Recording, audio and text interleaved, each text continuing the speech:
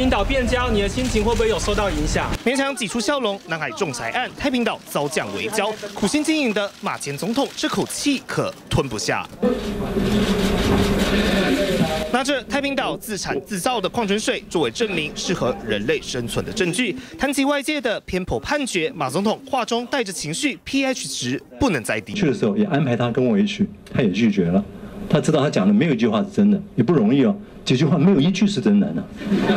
痛批亲历学者姜黄石站稳论述地基，话锋一转，马前总统替南海僵局抛出解套。用协商解决问题，它的效果不会比诉讼或者仲裁来的差。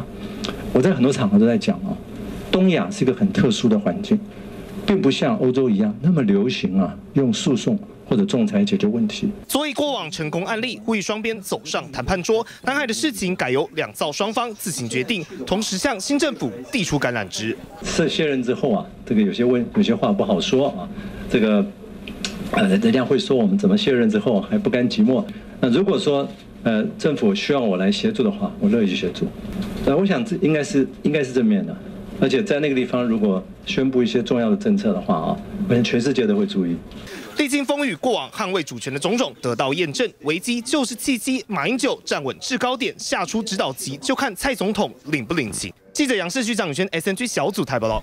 中天电视全新制作强档大戏《美好年代》。